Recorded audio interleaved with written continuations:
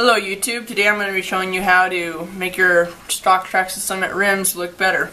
First thing you got to do is you got to take your screwdriver, you got to take off all of these little screws for this ring.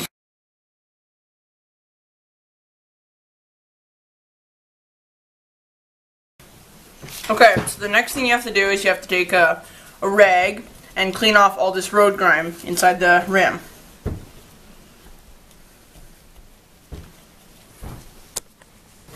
Okay, the third thing you have to do is take masking tape and tape around the inside of the rim.